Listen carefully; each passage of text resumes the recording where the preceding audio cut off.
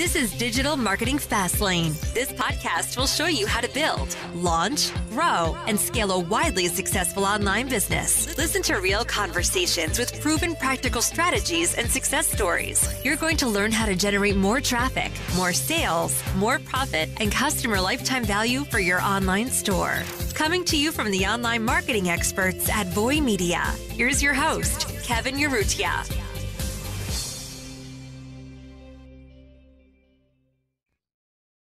Hi, everyone. Welcome to today's episode. And today we have Steve Watts of Slyde Handboards. Hey, Steve, how are you today? Hey, how's it going, Kevin? How are you doing? Good. I'm doing great. I'm so excited to have you here on board and great to talk about your story and sort of, you know, the brands that you have built. Um, so, Steve, can you tell us a little bit about your background and you know, maybe where you grew up? Sure. Um, well, I was uh, go right to the beginning. I was um, I was born in uh, in Cape Town in a small um, little town just outside of the city called Hout Bay, um, and uh, kind of just grew up on the beach down there. You know, it's where my my mom would take us, me and my brother, to get out of the house, and um, that was you know the kind of um, pretty pretty cool lifestyle. And then we moved up the uh, the coast when I was about eight or nine, and you know, loved growing up there. Loved, um, still love it. Obviously, uh, it's you know my home country, and um, you know, always got an affinity towards it. Uh, but I was a traveler, and I um, sort of when I was about 18 or 19, I you know packed my bags and uh, headed to London, and mm. from there was a great. London's a great place to um, sort of see the world from because it's got such a strong currency, and you you don't have to work that long to earn enough money to go and really have a good time in other places. And I, I so I spent most of my 20s doing that. It wasn't until I was about 27 I decided to get my degree in product design um, at a university in London um, called Central St. Martin's. Had a fantastic time doing that, really loved it. And uh, kind of that's where it started me off on the uh, the entrepreneurial uh, path, which I'd always wanted to go on. I actually remember when I was 15 or 16 telling my mom, I'm going to be a multimillionaire by the time I'm 30. Because, you know, when you're 16, 30 seems a long time, like a long way away. But nonetheless, you know, that was, that was kind of where that started. So and then sort of how did your how did your family end up in south africa? You know did you kind of know what that background or history is there? Yeah um, actually i'm third generation african. So um, my grandmother and mother were born uh, in zambia. My dad is actually english so he came from london when he was about 19 as well. And uh, he went I, I, believe they met in uh, zimbabwe well, mm. now Zimbabwe at the time it was called Rhodesia, and then they moved down to South Africa. I think uh, it was my mom was pretty strong-willed at mm-hmm. the time and was like, "Well, if you're going to come, you're going to come, right?" so uh, my dad followed followed her down there, and uh, yeah, I I believe um, my grandparents on my mother's side mm. had moved down to work in the copper mines in Rhodesia. It was a mm. kind of I, I, want to say it was the thing to do back. Yeah. You know, there was a lot of money to be made in the copper mines. I don't believe they made too much of it, or at least I didn't see any of it. But yeah, yeah. Uh, nonetheless, they yeah they work. They um that's where that's that's in a nutshell, I believe like how it all started. Okay, and then sort of when you went to London, was that sort of you trying to go see where your you know your father grew up? You know, since that's where okay. no, no, not at all. Um, it was because I have a British passport by by birthright because mm. my dad was born there. Um, it was it was really like I'm 100% like African yeah. in, in heart. So I don't I don't really hold any affinity to maybe Scotland a little bit, mm-hmm. but not really. So yeah, it wasn't about that. It was it was literally just about going uh, traveling. And, yeah, exploring going. Okay, perfect. You said that you went to your school at 27 for your product design. Mm-hmm. What made you decide that, like, you know, at 27, you know, most people would be like, I don't want to go to school or I don't, I don't think I need this. What made you decide to go do that after so many years of, you know, not essentially? Uh, well, you know, I had, um, I kind of missed out. I, I had gone to school when I was 18 um, for a brief moment, but you know, the, the, the university was right on the beach in, in Durban in South Africa where I live. So um, surfing was a huge part of my life, which is something I didn't mention before, but um, I'd been surfing since I was 11 or 12. And, mm-hmm. and um, so we would kind of make a beeline for the, you know, go down to university for, for, for classes and we would be like, the beach seems like a much better idea. Yeah. So I wasn't ready to study at that point mm-hmm. or to learn well no that's wrong I, I, was ready to learn just not not sitting in a in, in a class mm-hmm. to me uh, when i was going to that university i felt like i was just in high school like sitting listening yeah. and and it just it like there was nothing that I, i'm not the kind of person that can do something just for the sake of doing it i have to really love it mm-hmm. um, which is a good thing and a bad thing some i really appreciate people who can who can actually um, really put their heart and mind and soul into something that they really don't enjoy. But yep. for me, I, I can't do that. Like I just, I, it's not, yeah. not that I even can't, it's just, I, it ends up being a complete mess. Yeah. I, I don't put any effort in whatsoever because I don't want to do it. Um, I, I, exactly. I tell people like, I think I know exactly what you're feeling. I always tell people like, I'm unemployable just because yeah. I only want to do what I want to do. oh, I'm comp- like I'm completely unemployable. Yeah, I really am, and I know that for a fact. I mean, it's uh, yeah, it's not it's not it's, something I'm I'm capable of doing. Yeah, same. Like yeah, like I have employees too, and I'm just like, I so crazy that you would do something like this, even though you might not like it, and it's yeah. just because yeah it's yeah. my idea and i would not be able to do that for somebody else no i i, I couldn't um I can't take um, I can't take people telling me what to do. And I think I went to boarding school um, when I was 13 um, till I was about into high school. And um, I think I've gotten, I, it might have been from there. I had thoroughly enjoyed going to boarding school, yeah. really enjoyed it. I got my best friends from there, but like you get told what to do every moment of the day. And it's like, you have to do this. It's all rules, rules, rules. And so I don't know. Maybe it has something to do with that, like kind of revolting against having to uh, having to deal with that, or you know, for five years. Yeah, yeah. No, I I know exactly what you're feeling. So once you went to school, I guess at 27, you know, how long were you there for? Was it like a four year program, a two year program? Yeah, it's um. So the the school, I actually I was in Vietnam. Funny mm. enough, I was just discussing this with somebody else. I was in Vietnam at the time, um, traveling uh, Hanoi, and I was like, I think it's time I went and did something that I, I wanted. I want to be good at something. I mm-hmm. think was exactly the reason that I wanted to start. So I, you know, I just kind of went through. It was it was a process of finding what I wanted to do because obviously at the age of 27, you know, when you're 18, people kind of almost decide for you, and and mm-hmm. you're like, oh yeah, you know, you just go and choose any degree, for me, that wasn't a choice. Like I knew I was going to be paying for this. Mm-hmm. And so the choice needed to be something that I was going to do for the rest of my life, regardless of what that was. It needed to be something that I mm-hmm. enjoyed. And, and, um, you know, I'd, I'd always been good at art and, and that kind of stuff. So that kind of gravitated towards mm-hmm. something mm-hmm. that I could do in that realm that I could make money from. And, and product design kind of really stuck out to me mm-hmm. um, through the research that I did, and I didn't even realize there was actually a, you could actually do that as a, as a degree. You know, mm-hmm. be an industrial designer or product designer. Um, and so I did a bunch of research. I ended up finding a, a school in the United States in in um, uh, in San Francisco mm-hmm. that I went to. I ended up going there for two years, and then I I uh, relocated back to London. To uh, I always say London. I finished I finished in London, so that was where yeah. my degree from. Um, so I ended up doing another two and a half years there. So it was like it was a four year degree.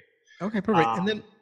And then, and then to you, like product design, what does that mean to sort of to you when you were researching it? Obviously now it's it means so many things like kind of what you said industrial design product design there's product designers for like websites there's yeah. product designers for but what is it what does that mean to you when you were first researching it well i did that was 10 years ago so yeah. product design you know it was funny because i actually i had i was very unique in that i had well i was very um uh I wouldn't say I was new, unique, but my situation was unique in that I, I got to learn two very different styles of product design, which was one in the United States and one one in in the UK. Mm-hmm. And and uh, in the UK, it's it's far more um, cerebral. Mm-hmm. Um, in other words, you know, for our for for you know, we would have to do what they call a context and rationale, um, and we would have to read. I just read so many books, Freud, um, all sorts of different books, psychology books, um, and and then uh, you know in, in, the in the school here uh, in San Francisco was way more um, hands-on. In other words, you were building stuff, um, which you know both sides you need. You need to be able to use your mind and mm-hmm. and kind of um, uh, like just see the way people interact with with products and be able to to find a solution to you know you look beyond what people are actually just playing with an item you actually see the problems that are arising when they're using that mm-hmm. and then you've also got to have the ability to be able to sketch that out or, or do um, a more you know do a, um, a quick prototype mm-hmm. and you know that was what i the prototyping and the sketching i was streaks ahead of everybody else when I got to the UK, but my sort of design thinking mm-hmm. was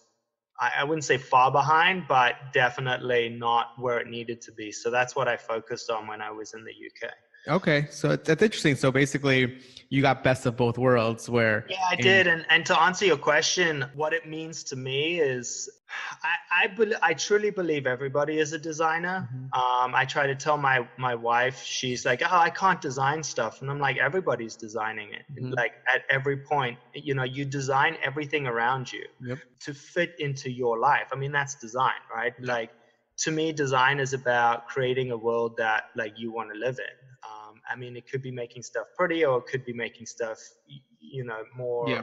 usable. Yeah. And so, yeah, I mean, there's there's all various different ways of looking at it. I just, um, I, I truly think design is we can design us. So there's a great book, um, designing ourselves out of you know the, the problems the world faces at the moment. There's uh, there's all sorts of different forms of design, but me, I particularly I love uh, like I love objects. So yep. you know that was. Um, the yeah the pure uh, product design but yeah, yeah like, exactly as opposed to kind of all the the other offshoots that have mm-hmm. come you know somebody sitting around thinking about different things to yeah. Yeah no but exactly what you said like everything around you is designed by someone just like you that thought about it. And, yeah yeah. and that's not they're not that i always tell people like you can design anything you want it's sort of you know the person designing it doesn't mean they're smarter than you they just thought about it and wanted to execute on it yeah, no, it's it's uh, you know they just have a different way of looking at it. I have a very interesting story actually. Um, uh, Jonathan Ives, who was the um, he's the head designer for um, for Apple. Uh, he did a talk at our school because he was getting an honorary degree from there, okay. and it's a it's a really uh, you know the school I went to. Um, Paul McCartney's daughter went there. You know, so it's a it's a it's a really you know well established school. It's been around for you know uh, and a long time. So you know it was we had a lot of really great people coming and talking. He was one of them. And um, he was saying that you know when when they designed the ipod and they what he did was he took his he took a team of people and they sat outside a, a london underground and they watched people going in, in and out on their on their commute and I don't know if you remember at the time, but we had mini disc players yep. and, and CD players and Walkmans, and yep. Walkmans and all sorts of stuff, right? So they noticed that these people going in and out, he was like, What what don't they have? And you know, nobody could answer the question. And like they don't have two hands to be able to use because one's got paper, you're carrying a mm-hmm. briefcase, you've got you only have one hand to be able to operate a, a product Mm-hmm. And he's like, that's where the first little like mm. ideation mm. for the iPod. Nobody could nobody could figure out why it became so mm-hmm. like incredible is because they had they had an a, they they created created this this device that you could operate with one hand. Yep. And that's what set it apart from absolutely everything else. I mean, apart from all the cool design and yeah. all that kind of stuff but the fact that like they had answered a, a question that people were repeatedly asking themselves is like oh my god i'm dropping my my yeah. ipod on the floor for the 50th time my my papers all over they noticed that that was what was happening people have a tendency to just blame themselves for the products around them mm-hmm. and I actually, um, ever since you know becoming a product designer, I no longer do that. I blame the product Yep. because it hasn't been designed properly. Yep. So you know that's if something's going wrong, it's almost 100% of the time it's the product's fault, not yours, because Yep. it should be designed around the humans that are using it. Yeah. You're obviously not using something that should be used for a human, or it's been designed to not be able to be used, which is you know that's the whole. That's another type of design. Yeah, no, but that, that, that that makes sense because yeah, I mean, with iPhones and iPods, it's one hand use, and it reminds me of a story that I heard for you know video game designers. So we live here in the city. Probably London also has the underground, but the most successful games here are those games that you can play with one hand because most of the time the subway, the other hand is attached to the handrail. yeah, exactly. So you're holding on.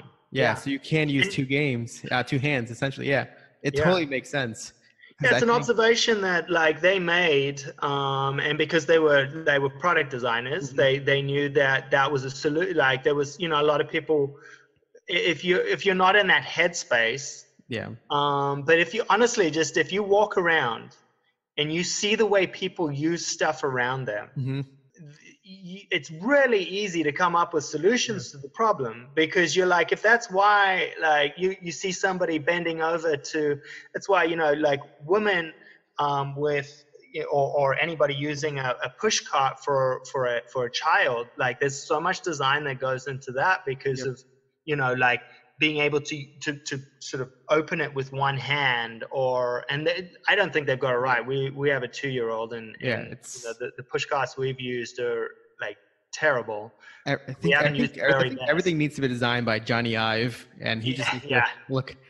What this is this is interesting because I want to know what are your thoughts on like the AirPods? You know, that is essentially a product design that's I, I think when it first came out, everybody was like, "This is so ugly, this is so weird," and then I have them now, and I cannot live without them just because they're just so useful. And like I don't know, I love mine.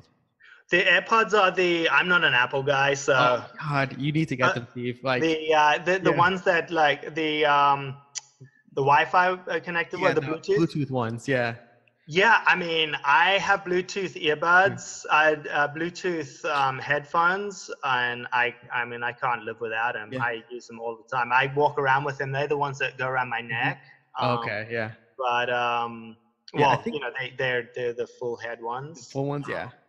But, But yeah, yeah, even then, I think that's sort of like another interesting observation too, where, you know, at least for me, when I'm running, I don't want to have the wires dangling, or that big issue was happening before was you would stuff the cord in your pocket, and then it would be like a little maze trying to untangle them every single time. it's Yeah. it's that um and and you know when i'm running on a because i i like to do treadmill it's not as hard on my knees um than you know like the the the uh you know running on the uh, the uh the tarmac or the, the asphalt and um anyway the uh the amount of times that I've hooked my thumb as I'm running, you know, Yeah. I'm running like that, and, and the cord catches, Yep. and the iPod flies across the room or hits the thing and bounces Yeah. back and hits the, you know, or not Yeah. the your phone or whatever you're. So yeah, I Wi-Fi. I can't wait until there are no cords left on the earth. Oh yeah, Uh, like uh, I was just thinking about the other day. I wish because I'm outside, all our electric lines are running around, and it, you're like we've got a beautiful view of the ocean, but there's a massive elect like massive electric lines in the way, and I'm Yep. like, when when's that gonna go? yeah. I, I can't stand it. So Yeah, yeah, because yeah, I mean, this whole the whole Earth is covered by just power lines, electric lines, yeah, and it, that also reminds me of the product design of this is we're taking this conversation, so we're random, but it reminds, go. Yeah. it reminds you of like design of cities, like parking lots is a big space where I don't think they should be there. It should be somewhere hidden naturally underground. There's so much space, like even mall parking lot, just massive amounts of space that could be something else. And how do you design around uh, something like that? And I don't know, I, I, product design and thinking about that, I, I really, I'm into that as well. There's a great book called um, Designing in. I know the the author is John Ficara, um, and Designing in the Bubble, I believe, and you could you could look it up. Mhm. And um, yeah, he he talks not not not necessarily about the the parking lot thing, but just how we can design our way out of the the situations that we got ourselves mm-hmm. into. It's a really interesting design centered book. Mm-hmm. Um, that was actually required reading for us. Um, and he, like he, I'm sure he's brought out others since there because yeah. just his observations are just incredible. Um, and and you know, I I I think that the parking lot thing that's you know you you start with the problem which is you know they're ugly right yeah. i mean you know there's even a song about park you know uh, pick up a parking lot or whatever it's um, and and you know you start with that that issue and they are they're ugly yeah. and um, you know cars are actually beautiful almost uh, you know they're they're you know most of them are gorgeous. Yep. Um, you know they're design like marvels. I mean if you really think about it. Yeah. And so you know it's it's like how can you like maybe not make them disappear but just how do you beautify them in a way that that is you know and it's the same with buildings i mean mm-hmm. you know you look at some buildings where it's just a cement block and then yeah. other buildings where you know it's frank lloyd wright building where it's just absolutely gorgeous and he's designed it you know it's everything's just has a purpose and mm-hmm. and then you got somebody else who designed something and just be like this is going to be an office building yeah so yeah i i just think a little bit of thought that goes into um uh, I believe it's got a lot to do with just being present and mm-hmm. and uh, you know the the idea that like you know um, people think mm-hmm. about the stuff that they put in places um, instead of just and you know just putting a utilitarian like building somewhere that serves a purpose they should actually you know build it with some thought behind it yeah, it's about like, you know, designing something that's delightful, especially if it's something that's going to be seen every day and, you know, you could potentially bring joy to someone's day. It's like, oh, yeah. it's a nice building and versus, oh, there's that building. yeah, there's um, a set of design books. I, I, can't remember what they're what they're called. I'd, I'd have to look it up and you can put in the show notes. But um, he talks about um, design should be user friendly blah blah blah blah blah you know and he, he, like his first book is just very much about like the technique of designing something that works which is you know and then in his his and he was vehemently against you know just stuff that didn't have any use. And then um, he actually changed his mind off of one one particular interaction that a friend had with a um, with a product that was a, a little tea strainer that was a monkey that held onto the side of the uh, of the the the mug. Mm-hmm. and you know you put your tea in there and it strains it. And he was saying like you know normally i'd be vehemently against it because it's almost like pointless design. Like yep. it's it doesn't doesn't serve a purpose. I mean you could do it some other way than having a monkey do it you know. But he was saying that he know, he watched how his friend interacted with this monkey and for that moment that he interacted with the monkey it brought him joy brought him like mm-hmm. you know he smiled he had you know and he's like it completely changed my outlook on the way that i i, I believe design should be mm-hmm. um, is that you know everything even the, the if, even if it creates a minute reaction or a mm-hmm. minute sort of interaction with somebody it served its purpose yep and so you know like so long as it's it's doing what well not necessarily even if it's not doing what you want it to do but it's creating a reaction um, but if it's definitely if you know you create something to make somebody smile or or laugh or or maybe even make them sad i don't know it depends on what i mean yeah. if you're you know depends on what you're what what you're doing but um he was yeah it, it basically it changed his entire sort of thesis on on, on design how he looked at design yeah Perfect. Which I follow. I follow exactly. Like I think. Yeah. I think something. If something can can make somebody happy, even for you know ten minutes in a day, I think you've done your job. And then, sort of, I guess going back to sort of like, um, how have you sort of incorporated these sort of details into, I guess, your first company, Slyde Handboards? You know, with the design, the details. What are those moments of joy that you found when building your product? Well, it takes uh, you know, you know, the handboards are a labor of love. Um, you know, we uh, it took me a long time to sort of come to the right, the little curves and the and the details that go into the into each board. Um, and uh, yeah, it's you know it's got a lot to do with the materials you mm-hmm. use and and and because uh, every product, it's called the semiotics, um, is basically every product that you look at mm-hmm. um, speaks to you. It actually has a language. It's, it's, semiotics are the language of, of products. And, and mm-hmm. if you can imagine a salt shaker, you know how to use a salt shaker because it, it, it tells you how to use it. You know, it's it's maybe it's angled up like that, and there's you know there's something inside. It's see through, and you can see the holes in the top, and you know how to use it. And so, it was really important to me to be able to to use um, those semiotics or that language mm-hmm. to to convey fun to convey bright happy happiness and you know and, and and also it varies from you know we have a, a lower end well not lower end but a sort of beginner mm-hmm.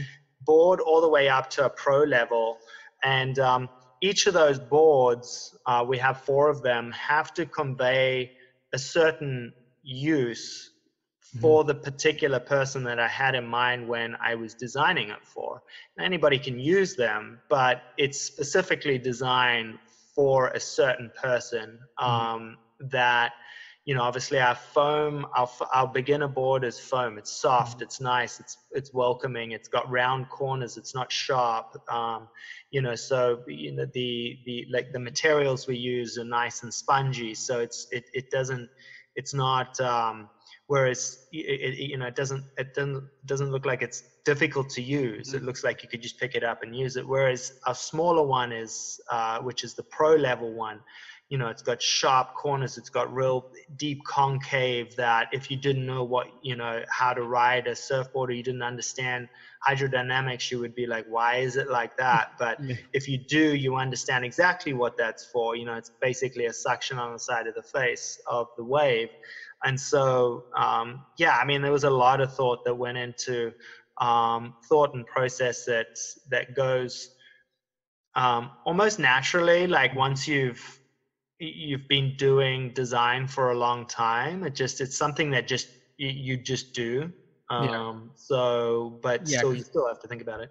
Yeah because i think what you're saying is you know you have to be able to design for your audience and sort of what they're used to and sort of you know make your products essentially you know keep leveling them up because through your product through the beginner you're sort of teaching them maybe something about aerodynamics dynamics yeah. that way so the next one they get it and it's not just about them buying a product it's about them sort of experiencing and saying and then challenging themselves too because then yeah. you make them better and then yeah exactly and and, and your product especially a you know high end mm-hmm. product mm-hmm. needs to convey that um, you know we use carbon fiber Mm-hmm. And uh, you know, we, we, it's basically saying step up. Yep. Uh, step up and like try use me. Let's see if you've got the you know you got the guts to like drop in on a on a 15 foot face faceway for this, like because that's what it's used for. And it should say that it shouldn't be it shouldn't be the opposite of like I'm not going to be able to handle the job that mm-hmm. you are you know set out to do. And so um, I mean, it's it's why things that are industrial de- industrially designed, in other words, um, for industry and stuff, you know, you don't see a, you know a big um, tanker ship with you know flowers and whatnot. It's like they're big bolts, and yeah. like everything is conveying that they're tough and they yep. can withstand big seas and stuff like that. But a speedboat, you know, yeah. that's all to be, you know, you it's it once you start to understand like how things are actually designed specifically for their use and for a sp- certain person you can start to see like the semiotics of what what the you know it's sleek it's it's beautiful it's you know the curves and all that stuff whereas the tanker ship is just it's it's utilitarian like it's just there to be tough. Yeah. And do you think, Steve, that people now are paying more attention to product design than before? What, what are your thoughts on that? You know, do you think design is something that people care about or, you know, I think I think people have always cared about it. They just didn't have a have a word for it. You know, mm-hmm. like I don't think I think I think Apple was a was I mean that was their uh, democratization of design was it was you know that's what they they set out to do and they did it very well um, and they made people aware that they wanted beautiful products mm-hmm. um, so i think people have been made aware i don't think i think it would be if you didn't have companies like um, you know asus and, and, and apple and nike and, and whatnot coming out with these you know beautiful beautifully designed packaging and and products and mm-hmm. i don't think many people would you know they would just take the status quo but because you know because they've been immersed in it now for for a long time i think people are you know if, if you don't see that in another product mm-hmm. you you've they've set the high the, yep. the bar really high and so now people know what to look for so yeah i think in that yeah people are definitely taking more note of design but i think people are um, you know design is it, it's kind of like a, a word people just use mm-hmm.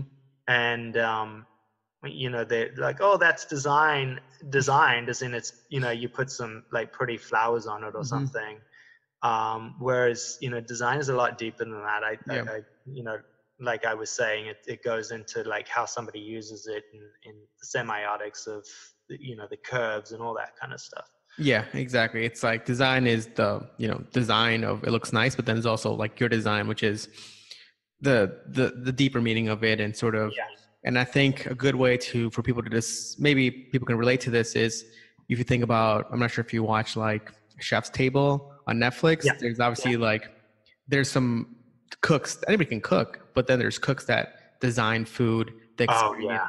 the smell yeah the whole experience and and that's a big thing now too is design experience obviously designing mm. an experience and something i was really interested um, you know I just after i left school was like the experience that eh, you know like design is not just like the product. Mm-hmm. it's everything that comes in that whole experience that you have. And it's something that you know with our new company um, Veldskoen, which we're you know we're, we've just started you know we're going through that process at the moment which is designing from every touch point in like how we want that product to what we want that product to say to that person. Mm-hmm and uh, you know they're utilitarian shoes and they're beautiful and they're like crafted by you know South Africans and and you know everything that that shoe is has and it's you know it's a four, three four hundred year old shoe mm-hmm. design um, that's been copied a thousand times but it's like the original and so we need to like get that across and how do we get that across and it's a really interesting almost you have to go when you when when i'm doing it i i kind of almost go into this black hole mm-hmm. it's it's it's fun and it's scary and it's kind of weird because you know you kind of you you just go into this the zone where all you see and feel and everything around you is is how can i how can i like you know you just start to notice things all over the place and it's um it's kind of, like I said, it's fun, yep. but it, you know, the wife doesn't like it much because it kind of disappear for a while. yeah, it's it's with anybody with any sort of hobby or passion, it's you can yeah. easily just disappear in it. Yeah, um, absolutely. Yeah, and then yeah, Steve. So I want to talk about you know talk about your brand new company. You know, sort of you know how did that start? You know, where was your mindset of this thing I want to take on that's new for you? you know kind of how did maybe how did the company come into your radar yeah so um trying to th- think I could tell the story the best way, but um, you know, I mean, it goes right back to my my childhood. So anyway, the, the you know the new company, you know, we've we've had Slyde for nearly ten years. Started in I started it when I was actually sixteen. I knew that's what I wanted to do with the rest of my life. I knew that I was having fun on these products and and and handboarding and body surfing was just so much fun. Uh, I surfed, I do everything in the ocean, I love it. And um, you know, we, uh, me and my wife, I, I started and she came in about two years after that, and we this was in 2010 when we we officially launched. Then mm-hmm. I'd been working on it way before then, and and we've built it to something that's amazing. It's incredible and uh, just last year we were both like we would like to like have something you know we want to take the, the the connections because we were on shark tank with slyde and we have a wonderful partners in in ashton kutcher and and mark cuban and they were inc- they've been incredible for us and um, the connections that they have you know helped us grow has just been incredible. So, you know, we we have such an opportunity to like to create more stuff. And um, so, you know, it had been it was last year, uh, winter last year, because slyde is really slow during the during the winter, and then during the summer it just explodes. So it was during the winter. I was like, you know, it'd be nice just to have something that like we could we could use. You know, we could start and would work through winter too. So we had something to work on in winter so we could mm. like kind of rotate. And um, like I said, we had, you know, we have all the knowledge and like tried every single app ever made on Shopify. And I have all this knowledge and, and I felt it was going to waste on just one, one. And, and I'm also, um, I'm, I'm kind of ADD. So mm. I, I was, as you probably hear, I'm like, you know, I've got the right brain, I believe. I don't know. Wow. I've got the design side brain. So it's all over the place. And I was like, I got to do, I've got to find something else. And, and, um, you know, my, um, I ended up going, my mom got very sick and I ended up going to South Africa, which hadn't been on the, on the, on the radar to go, but, you know, cause she was sick, I, you know, I had to go mm-hmm. over and, um, my, uh, my wife Ange and my daughter, um, Venice, um, they visited their, their, her grandmother and her mother in, um, mm-hmm. in in Rhode Island, and I went to South Africa, and and I was like, you know, it's it's my birthplace, and I I I want to. It's such an amazing culture, an amazing place, and I want to bring something over from South Africa. So anyway, my cousins my cousins happened to be there at the same time I was there, and uh, we were at a at a restaurant, and I see this girl walk past me wearing a pair of shoes that are from my childhood. And I went to school, eh, like I said, at a boarding school, and the boarding school was actually a farm school too, as well. So we used to wear these shoes called Veldskoen. And they're a leather shoe that had been around for centuries. Like, mm. I mean, everybody just knows what Veldskoen are in South, South Africa. We call them Vellies, so I'll, I'll continue calling them Vellies because nobody can say Veldskoen. So everybody like knew what Vellies are in South Africa. They're like a traditional shoe. They're iconic um, super hard wearing. Um, you can you can wear them in the the, the heat, and a lot of the farmers wear them because they're super durable.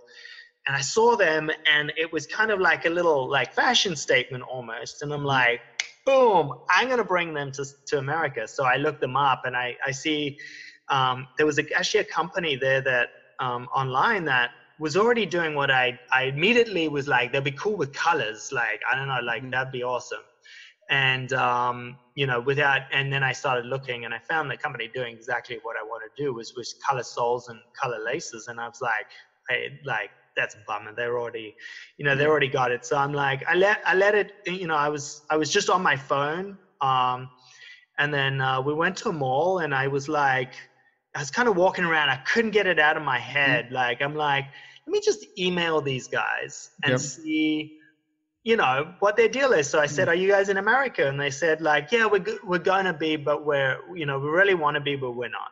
Yeah so i'm like oh, okay cool. And i let it sit for about two days and then i emailed them back and i said look here's the deal this is what we have. This is what we've built over there. We have a lot of very good connections for exactly what you guys are looking for. You know, we can build your company. And they like literally like before I'd even sent it, I think they were like they were calling me back. yeah.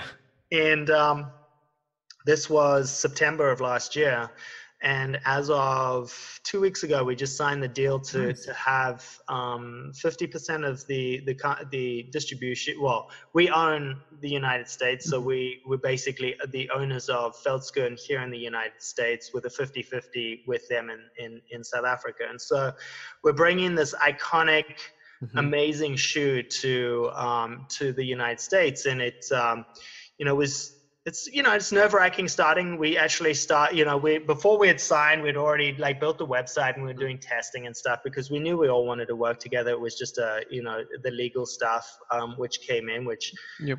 um, you know I, I, can go into if you want to but it's a it, like it's so much work the, just the legal stuff and I, I, and i advise anybody doing any kind of agreement always have an agreement i was discussing this with our lawyer yesterday and she was just like it's it's the most important thing like it's so important Yep. Um, but nonetheless, we um, we signed the we signed the deal. But we'd been doing like all this testing, and we, we it's just I, I, mean, I put some ads up on on Facebook um, because obviously, you know, starting from scratch, you don't, you know, you it's shoe. I mean, like Nike and and you know yeah. Zappos and stuff. So we were like, the only way we're going to do is just um, going to do well with this is if we do some ads on on Facebook, and it just blew up. Oh wow! And, um, yeah, we were like, wow okay yeah. we had to dial down the um, down the ads and and um, you know because we didn't have enough um, stuff and it was just uh, enough um, uh, stock and we uh, we were just like okay we know it's going to fire and and so we we signed the deal and um, uh, you know we got my friend who's in a media agency mm-hmm. um, up in Los Angeles you know and again another one of the connections although I've I've known him for ages that they were like, this is the most incredible story about mm. this shoe. And we want to be involved in it. And we'll like, so they're doing all the marketing, you know, the actual Facebook stuff. And, and, um, yeah, it's been, it's been great so far. So, you know, fingers crossed.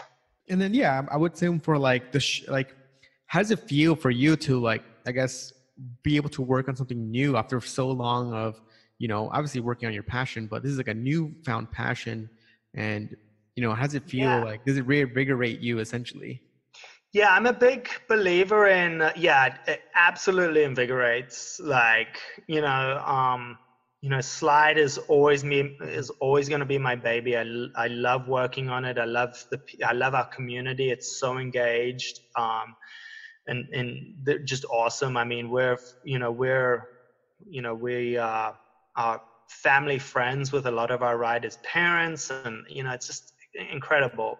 Um, but yeah, you know, this is it, it's for me, and I like I don't know if you listen to Simon Sinek at all, but finding your yeah. why.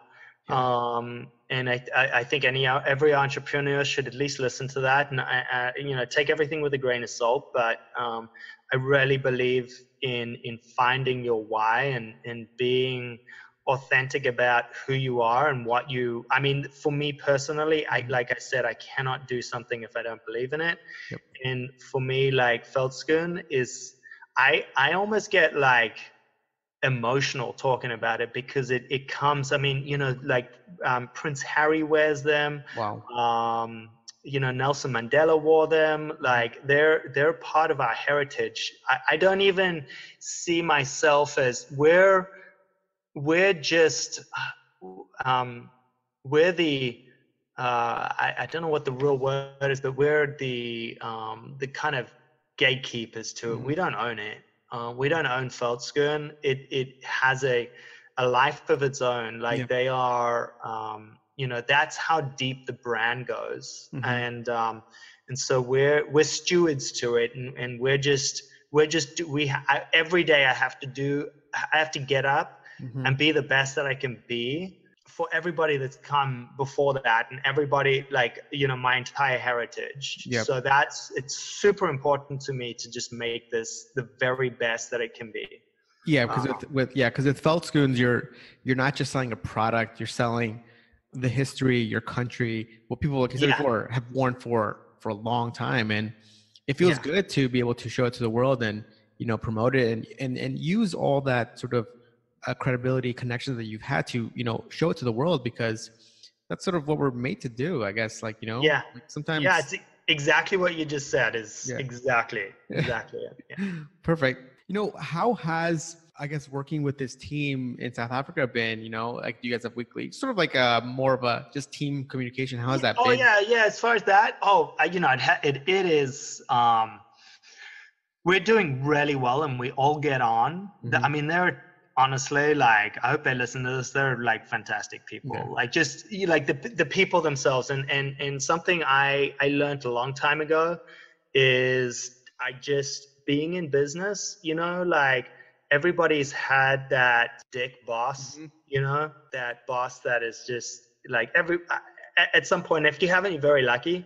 And so I, I learned a long time ago, I did not want to do business. If I'm going into business, I'd rather just be broke than mm-hmm. than have to deal with people that I don't enjoy. And so these guys are just genuinely nice people mm-hmm. and great business people to be involved. And yeah, it has its it has its um, its difficulties with being so far away, but that's the only that's the only thing. But we have like a weekly meetup um, on Zoom, which is yep. awesome. I love Zoom. Um, and uh, yeah, we all get on and we all discuss stuff, and um, we all get stoked and get fired up, and then you know spend another week and come back and do it all over again. And you know they've given us complete um, autonomy, I yep. believe is the word, to yeah. um, to really just take the United States to the next level, and and they completely trust in what we're doing, and um, so yeah, it's it, it is again like you have to have the communication. Like we use Slack, which worked. Then we use what like now we like we we have like a WhatsApp group okay, which seems yep. to be working, but um you know so I th- it's funny you go through these like um like phases of like everybody wants to be on Slack yeah. and then everybody wants to be like everybody's listening on on on you know, and it's funny you listen to these companies tell you how good their software works, and it's it's funny like the actual reality of how stuff oh. really does work. Yeah, yeah. Like Slack is like I love Slack. We use Slack here, but it's like yeah. always you're always on with Slack. It's like less email. It's like no, actually, like I think I get more messages in Slack now, and yeah. it's more of like I need to check it right now, or else like I'm freaking out. Yeah, yeah, and and and so we we try to we try to keep it up, and uh, but really, I mean, you know, we're we're building here, and um and you know, the cool thing about like what they're doing over there is it's not just Veldskoen; they've got other products that they're continually. They're kind of like a think tank. Okay. Over there, and um, you know, in South Africa, it's very. I mean, it's it's archaic as far as the internet is concerned. Yeah. It's like people don't get it. There's a lot of very clever people but as far as the e-commerce side of things is concerned it's it's i noticed it when i was over there it's like wow mm-hmm. people are still talking about wow you bought something online oh my god like, oh yeah you know so i you know that's something i did notice over there and people that have a um, kind of mistrust for it you know mm-hmm. they're like oh this is a scam immediately mm-hmm. like no your product is on the way dude yeah. you know so you know it's um there's still yeah i mean and that's something interesting to talk about too because there's such a huge opportunity for entrepreneurs to go there and see what advantages they can do and sort of help out because you know america has an advantage which is people are used to this online thing. Yeah. And it yeah. did take a while for people to get used to it but now with like i mean you probably know amazon just pretty much made it so that everybody believes this online thing. Yeah i think um, they were they were they were probably top. I mean, what like how long have they been around? I mean, uh, Amazon's been years now. I think for uh, yeah, I think yeah. I mean, I think for consumers it's great, but as for mm. small business owners, Amazon is deadly because they I don't know. I just they just take over everything.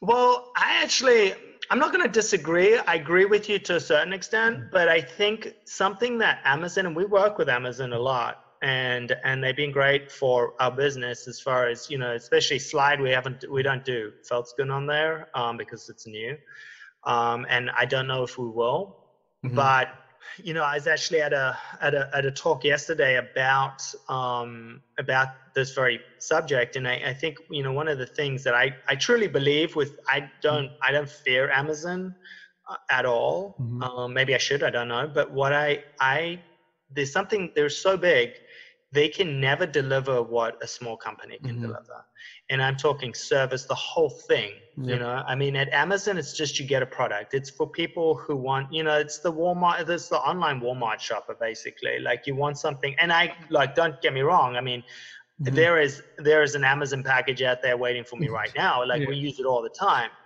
um, but I don't go on there to get a brand experience. I don't go on there to, and I know they're working on it because I I've built that stuff for our our brand online, but it's not the same. Yeah. Um, I you know I really like I don't even know if they'll ever be able to get, and I hope they don't because that that is the holy grail for a small business, is that you can you can tell your story. You can you can you can tell who you are. You can have connections with. You own those people um, and their data, which is which is huge, and you can speak to them uh, through your emails, through your uh, through your phone calls, all that kind of mm-hmm. stuff. So I definitely think that you know anybody who's worried about Amazon, you know, just find where you differentiate, and that's where it is is, is being being authentically yourself whereas amazon is really a commodity. And so like people go there to buy stuff that's cheap and in um, you know you just need to find something that can't be found on there can't really be re- replicated on there. I mean yeah. for us it's like Veldskoen shoes like you know um, you know nobody can ever replicate the Veldskoen brand because it belongs to us. So um, you know anybody buying on there is is going to be um, the, one of the talkers talks yesterday was actually the Birkenstock guy, and they mm. went through that big thing with, yeah. and he was talking about that a little bit. And he was just like, it wasn't where we wanted to take the brand, and like they were not, you know, they weren't listening yeah. to us, and so we pulled. So, um, you know, the the idea is that like you can create a brand, and and you you get that a lot more of a personal thing with a yeah. small company, and I think a lot of people are gravitating towards that now. Yeah, I, I see that too. It's at Amazon, exactly what you said. It's it's great for businesses and it drives a lot of sales. But like you said, they won't be able to replicate the brand, the founder, the presence, the, the rich exactly. history of exactly. a company can only be told through your own website or through your own channels. Yeah. And I think as a founder or, or small business, that just makes you connect more with your the people that are buying your products versus just oh let me make a product and release it out there. It's now I have a story and I, I need to tell it. And everybody's, you have to become your own personal brand for yeah. your business essentially. And, yeah. and because they're going to believe you and, and your story and the company behind it. Because I mean, that's what you see right now. It's, I mean, a good example is Shark Tank. Like you're, you're, I, when I look at it, I'm looking at the founders. I'm like, oh my God, that story is just so cool and amazing. And the product is everything that's around that story. And yeah that's why I made them, and that's why people fall in love with the products. Yeah, and so and, and it's it's the whole package too as well. And I, you know, your the stories like the story is so important. It's really mm-hmm. difficult to tell a good story. Um, uh, I got another book that like if anybody's listening yeah. should read is um, Story Brand. Um, just look it up. It's on uh, like it's it's. I mean, there's plenty of story like, but you know like you know brand you know basically telling a story through a brand uh, books um, this one was particularly good for me so um, donald uh, donald miller i think his name okay. is I, I, got a lot out of his book um, and it, it, actually takes you through the steps of actually telling a story as as you would if you were telling a story of a movie mm. That's good. so yeah i think i think you know we touched on on that as far as you know amazon can never tell your story no. uh, not in the way that you can anyway. And so everything that you that that the customer touches should just not be the Amazon brown yeah. box. No. Like just plain thing. It, everything should be about your brand.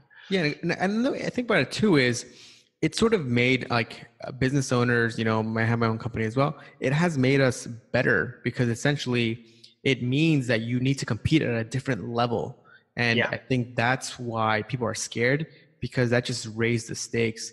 And a good example is obviously all those B2C companies, kind of like yourself, where you just have to raise your standards now and become better. And you know, we saw companies like I guess P and G, Procter and Gamble, just releasing the same version of toothpaste 20 times. Yeah, calling it something new, and it's like they're only they're only winning because they have that shelf space but there's oh, no they, yeah and that they're following and yeah. and and that's why these guys like Warby Parker and these disruptive brands come in because they see that what these guys are mm-hmm. doing yep they they they see through the facade of just like doing exactly what you just said bringing out another pair of sunglasses and bringing out or like everybody owns that and, and yep. they're like we can do this better yep and it's really it's difficult it's not it's not it's not it's very very difficult to execute on it and it's mm-hmm. difficult to see but when you do see it and you want to you want to do it like you can make a complete difference yeah uh, and you really can compete with those bigger guys and and and and you just have to you don't have to look far to see the guys that i mean there are plenty of people beyond that that have failed doing yeah. that but I mean, if you're Yeah. not going to try, you're never going to get anywhere. So Exactly. And I think that just makes it better. I think a good example would be like, you know, people always look up to like, you know, Dollar Shave Club, that founder, that great video. yeah, oh, yeah. people are like, that was so unique and really was competing against a big giant like Gillette. And no one would ever think a few years ago that could happen. But look, unique story, unique story that Gillette would never make, a unique risk. Uh, that's a risk that Gillette would never make with that story, with funny, sort of Yeah. provocative. And, and I think that's what, what's required now. Yeah, Okay. it's. I mean, he started that whole genre of, of funny videos. Yeah. it's crazy. So Yeah, yeah, just one guy. It's that's what, it's sort of where we wrap back to the beginning. It's like reality is designed by somebody around you. He just decided Yeah. to make that, and now that's our reality. That's yeah, what it- the same same with Tom's shoes is another one. Yeah. Exactly the same thing. You know, where he decided one for one, and now everybody is trying to do this. Um, you know, like is is doing the same version a hundred different times, Yep. like different, and, and they're all coming up with their diff- own different spin. Which, you know, you can think of it as as it's copying, which some people blatantly are, Yeah. or other people are just inspired by that. You know, it's like being inspired by the color red. You know, like you know, you Yeah. come up with different shades, and and so that I think is I think it's awesome. And I, I- honestly, if I was him, I think it's prob I would be probably the thing I'm most proud about is because you've brought this community awareness to to social problems, which is like I mean far more than probably what what what Tom's has created. Um, he's created a whole movement of companies that are making money for good, you know, and and well, we hope anyway. I Yeah. mean, that, that's what they tell us. But Yeah. um, nonetheless, not to be cynical, but like I assume that's you know that's what's happening, and so that that for me as a legacy, I'd be like, that's so cool. I changed I changed the way people do business. That's awesome. Yeah, and, yeah, exactly. Like that whole legacy for Tom's is like uh, it's exactly what you said before. It's probably been worth more than what he's done just because the sheer volume of companies that are Exactly. following that model. yeah, Okay. exactly. Okay, perfect, Steve. Last question for you. Uh, Great talk so far. I love it. Where can we go to learn more about, you know, Veldskoen, slyde handboards, yourself, your story? You know, where can people go to, you know, learn more about yourself? Uh, well, we haven't. Um, so you know, just um, to give your your listeners kind of an uh, overview, is we we've started Fun Brands, which is kind of our umbrella company, and underneath that is um, anything fun. So, so uh, handboarding, you know, body surfing handboards are, are definitely fun. Our Veldskoen are like super fun, um, Mhm. colorful, um, bright.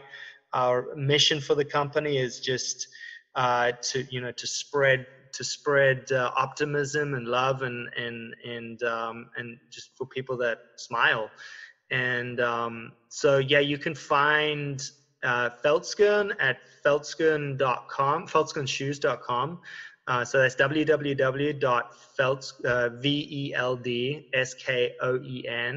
uh, uh, shoes.com, sorry. So it's kind of a mouthful, but it, it, is actually an Afrikaans word. Um, my wife is from Rhode Island, so I get her like whenever I want to laugh, I just ask her to say Veldskoen, and she's like. Veldskoen. So anyway, it means field shoe, um, because that's where it's come from, and that's the name of them. And then slyde handboards, which is S L Y D E um, H A N D B O A R D S dot com. So you can um, for both of those, you can you can read more about um, myself and Ange on Slyde, um, and then Veldskoen. More of that'll will will start to come in, and it's um, yeah, that's where you, that's where you can see it. All right. Thank you so much, Steve, for your time. I really appreciate it. I really enjoyed our chat and uh, thank you so much. No worries, no worries. I had a great time. Thank you. This week's episode of Digital Marketing Fastlane was brought to you by the performance marketing experts at Voy Media. Join us again next time as we'll be bringing you more tips, techniques, and know how to make your online business the very best that it can be. If you have any questions, comments, or feedback, we'd love to hear them on Twitter at Voy Media. Thank you.